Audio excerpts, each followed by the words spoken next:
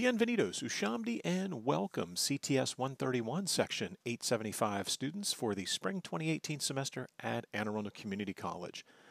This is the Routing and Switching Essentials version 6 course from the Cisco Networking Academy, or the Networking 2 course at Anne Arundel Community College. And this morning's Packet Tracer tutorial and solution set is going to be on Packet Tracer Activity 6.4.1.2, where we're going to be tackling the Skills Integration Challenge for Chapter 6. And this is actually a fantastic activity that's going to have us really hone our skills here with router on a stick and more specifically, inter VLAN routing. So as you can see, we have our topology here on the left-hand side, our addressing table, and our VLAN configuration over here on the right-hand side. So in this activity, you're going to demonstrate and reinforce our ability to configure inter VLAN routing. Now, we're given some very general statements here, right? So this is really going to force us to think about what it is we're doing and making sure that we're capturing all of the key points here. So requirement number one, let's start right here. We're going to configure inter VLAN routing on router 1 based on the addressing table. And so if we focus here on router 1 in the addressing table, you can see that we've got quite a few sub interfaces. One, two, three, four, five sub interfaces. And then there's the serial interface here, which is connected to the HQ router, which is going to get us out of our environment over here to the ISP. So let's start here on router one. Let's bring router one up and let's give ourselves a little more room with which to work. And that should be good right there. All right, so let's dive in here. Now, we're in user exec mode, and that's evidenced by the greater than sign after the R1 hostname prompt. So let's go ahead and type enable to transition into privilege exec. And I'm going to start with a show IP interface brief because I want to see what we currently have configured. So the only interface that's currently configured is the serial 000 interface. Do I have connectivity to the other side of that serial interface? In other words, do I have connectivity over to the HQ router uh, which isn't listed there, but should be dot one is my guess. And there you go. So we have connectivity on that side. However, it's on the southbound side, right? And it would be right here on gig 00 on router 1 where we need to do our inter VLAN routing work. So let's make that happen. Let's get into global config and you can see that right now gig 00 is administratively down. Now there's two ways we can approach this. I typically like to bring the interface up before I start configuring the sub interfaces. But here's what we're going to do. I'm going to say interface gig 00 dot 10 and what we're going to do is we're going to wait and bring the parent interface up at the very, very end. So I'm into the sub-interface configuration mode. Now remember, if I'm in a rush here and I say IP address 172.31.10.1, and then I try to put the subnet mask on here in dotted decimal notation, if I hit enter, what's going to happen? Yeah, I'm going to get this gentle reminder here from IOS that's going to tell me that I noticed that you're trying to configure a sub interface. However, in order to carve up this physical interface, gig 00, into multiple virtual sub interfaces, I need to know, you need to tell me how is it that I am supposed to differentiate among the traffic that's showing up on this physical interface. And this is where we can do 802.10 802.1q or ISL. And again, ISL is a legacy Cisco proprietary. It's actually deprecated. You won't even find ISL as an option in newer Cisco hardware. So we are definitely all about the IEEE 802.1q trunking protocol, and that's how we're going to tackle this. So we want to say encap.1q 10. Now, another key reminder does the sub interface number need to match the encapsulation .1q number?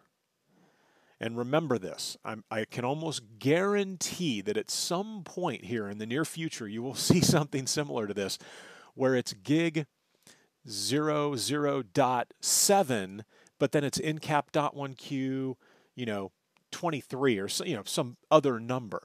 they do not have to match. And this is probably the number one thing that you'll they'll try to trip you up on. So pay attention to that. The subinterface number and the encap.1q VLAN tag number do not need to match. What needs to match is the encap.1q tag number, right?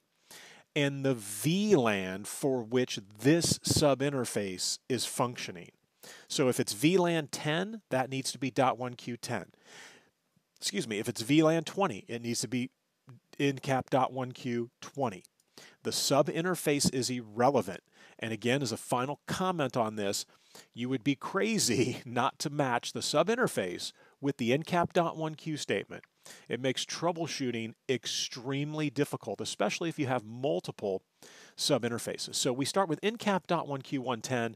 Now I can add the IP address on here because now the router says, okay, you've told me how to differentiate it. I'm looking at .1q tags.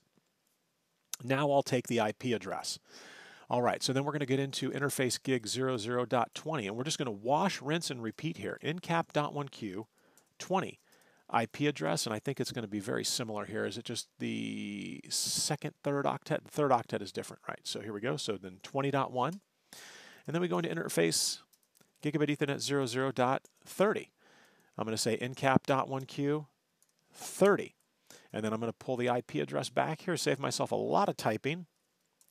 172.31.30.1. So then we go into interface gigabit Ethernet 00.88. And my guess is that, yeah, 99 is our native VLAN. And this is something that I historically overlook uh, for whatever reason. But I'm not going to overlook it here because I noticed they had tons of uh, sub interfaces. So uh, let's get the IP address up. This is going to be 172.31, oops, sorry, 88.1.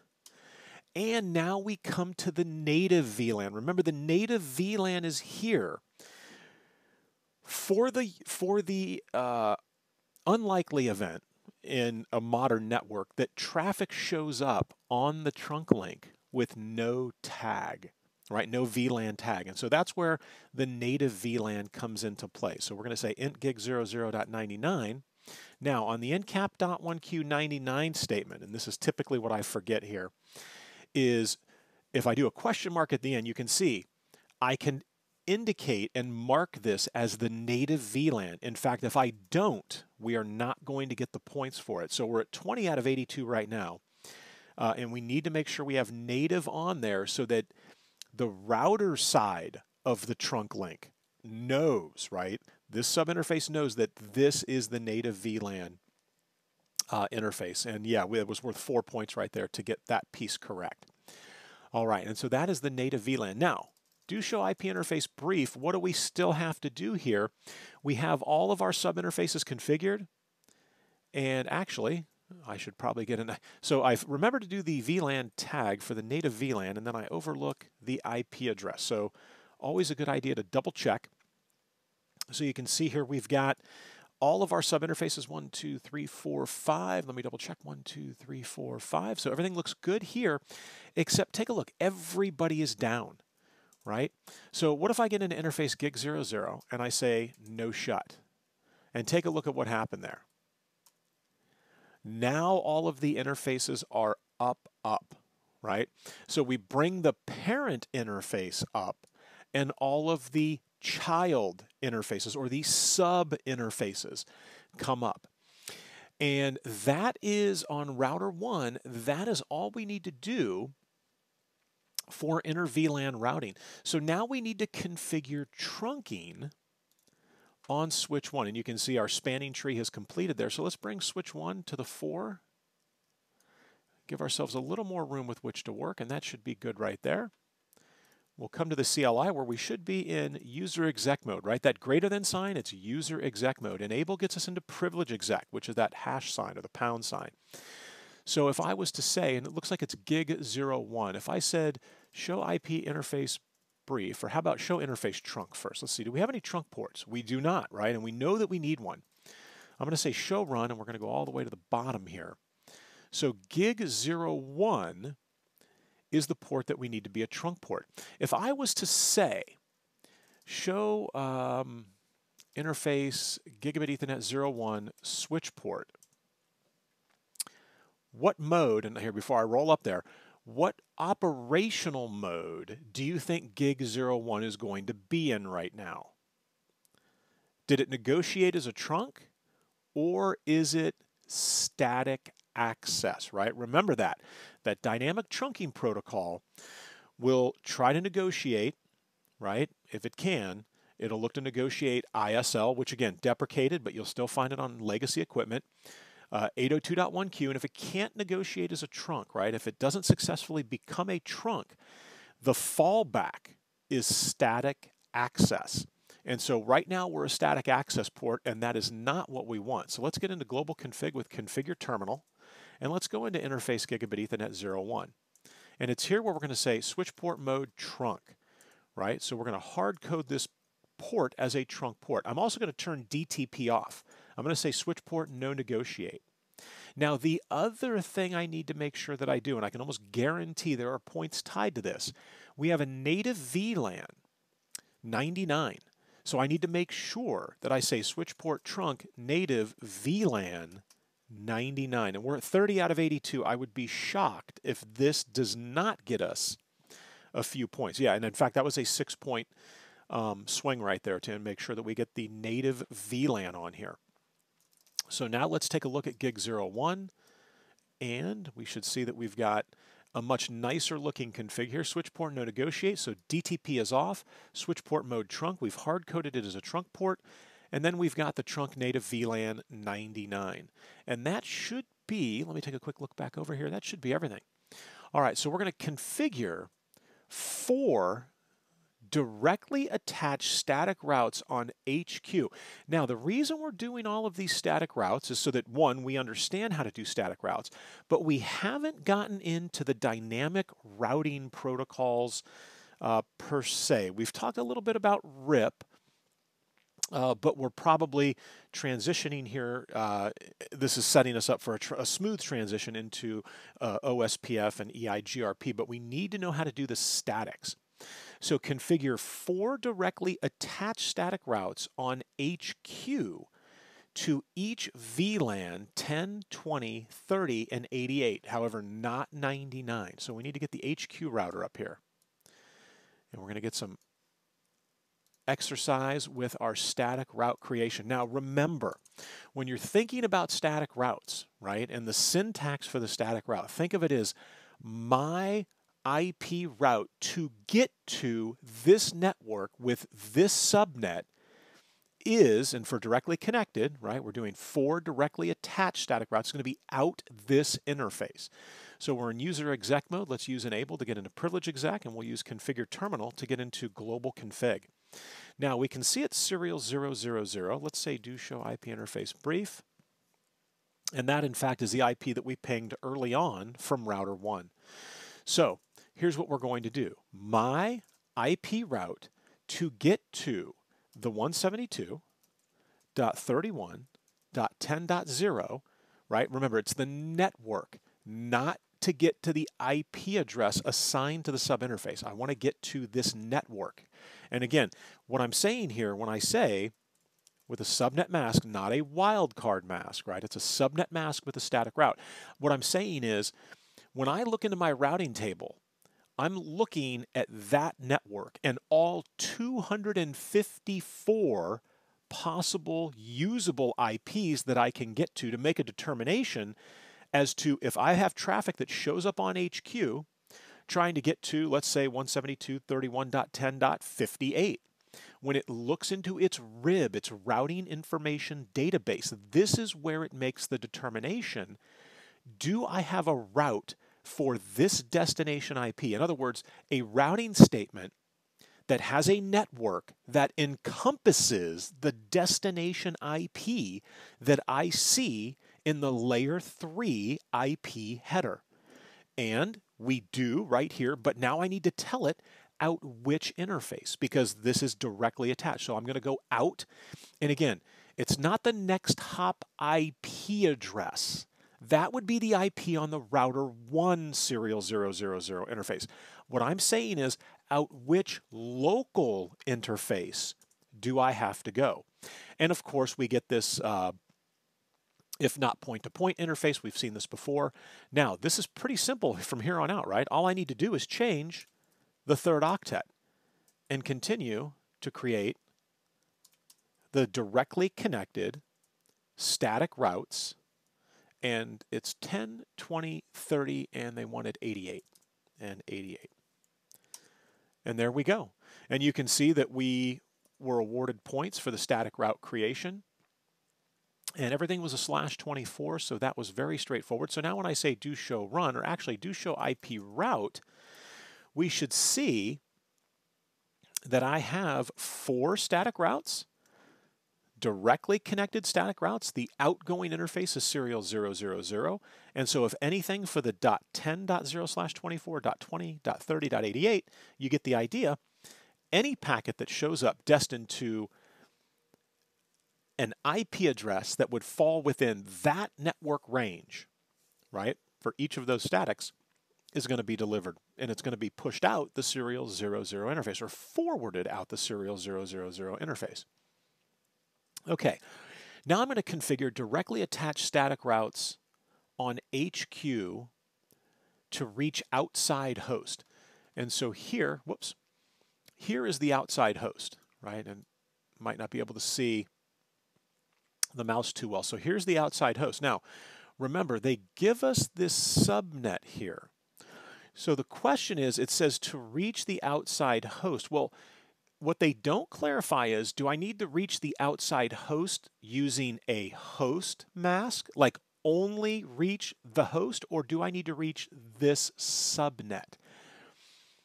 And again, the path to the serial 01. Okay, so they're basically going to have us do a floating static here. So let me clear the screen and let's do this right here. And let me go ahead and get on to, so we're already on HQ to reach the outside host. Okay, so we're going to do directly attached. And the primary path is going to go through the serial 001 interface. All right, so my IP route to get to the 209.165.200.30. Now, here's the question. Is the dot 30 the actual IP of the outside host, or is that indicating the subnet? So how would we figure that? Oops, sorry. How would we figure that out? And this is, let's um, transition here. And then there was our router on a stick conversation. And I'm going to clear this. And let's bring this up here. So we know it's 209.165 dot, and actually I need to take a quick look, 200.30 slash 27. So 200.30 slash 27. So I know that the subnet mask, right, and this is our CIDR notation, the classless inter-domain routing notation, right? So I have a slash 27, and what that means is the first 27 bits, 1, 2, 3, 4, dot, 1, 2, 3, 4, 2, 3, 4, two, three, four, one, two, three, four. Wait, one, two, three, four, five, six, seven. Didn't do that one. Okay. All right, so here's the first 24 bits. We've got eight bits here, and eight bits here, and eight bits here. Now we're borrowing three bits to make these network bits of the last eight bits. So one, two, three, four, five, six, seven, eight. So what we're left with is two to the 5 in terms of host bits, right? So here's bit 1, bit 2, bit 3, bit 4, and bit 5 for the host bits. So how do I figure out how many usable addresses would be in each subnet in a slash 27? Well, I would take 2 to the number of remaining host bits minus 2. And remember, the minus 2 is the broadcast address, which is not usable. Remember, we're figuring usables out here and the subnet ID or the network ID, right?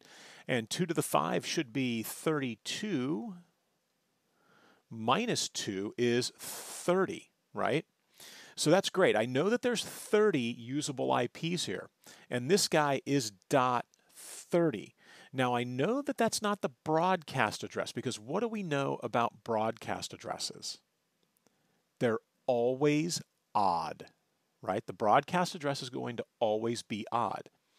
So what I really need here is I need the block size. And the block size is very simple to figure out. You simply take a look at the borrowed bits, and this will give you the block size. And specifically, you look at the last or the rightmost borrowed bit, and in the octet in which it sits, right, this in this in this use case here with a 209, this will give me, right, if this is 128 and this is 64, this bit position is 32. There's my block size right there. It's that easy. So the first subnet would be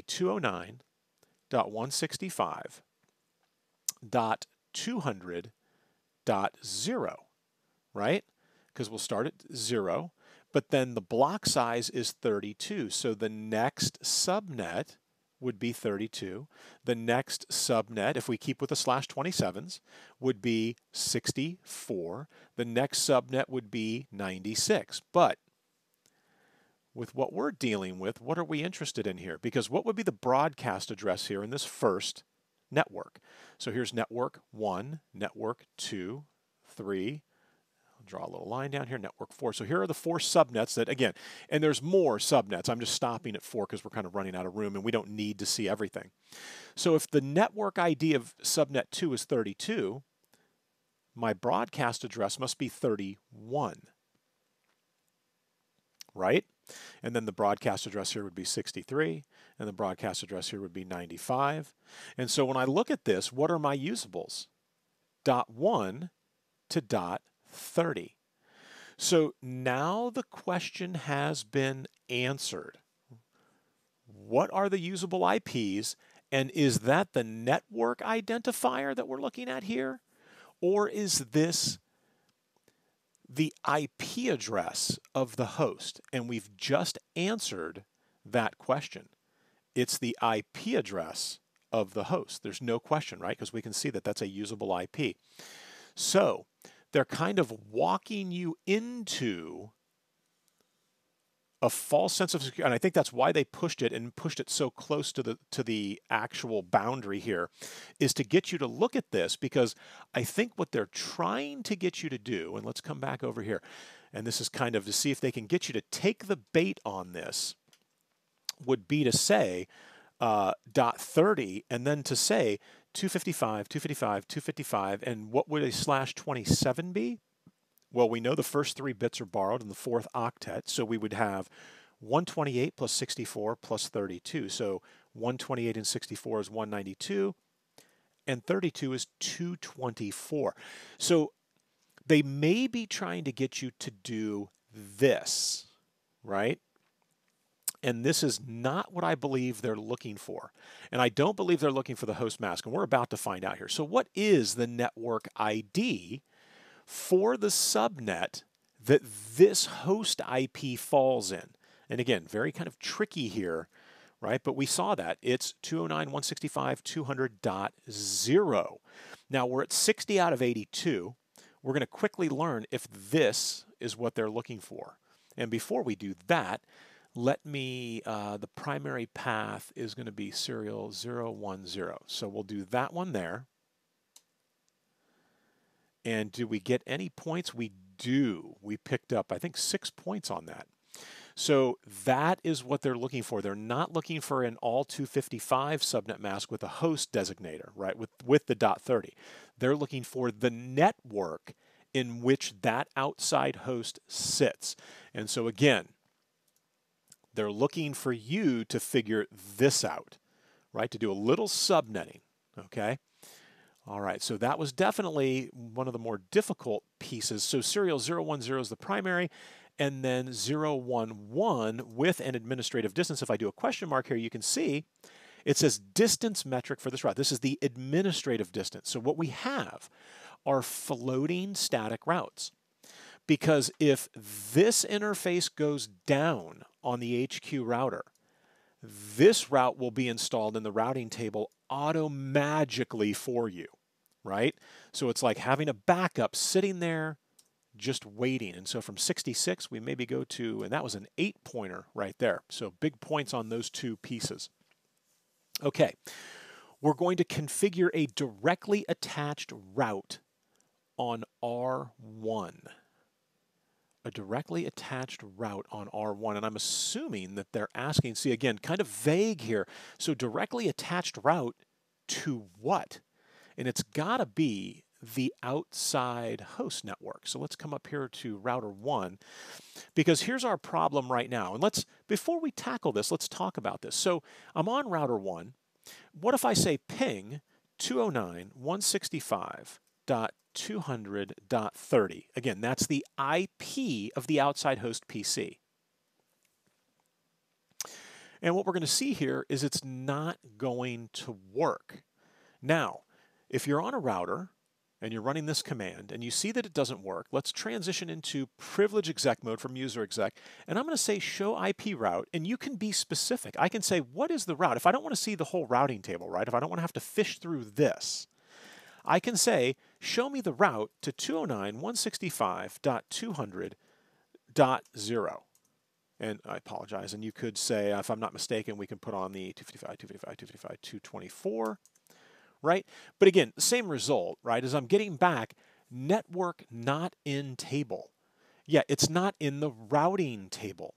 So the problem right now is any traffic that shows up on router 1, it has no clue how to get to the 209.165. And so therefore, this directly attached default static route here on router 1 is going to save us. So what we're going to do on router 1 is we're going to tell router 1 right now that if any traffic shows up for which you do not have a more specific longer match to get to. In other words, these networks here that are currently in the routing table, if any traffic shows up that doesn't match one of those entries right there, here's what you're going to do with it.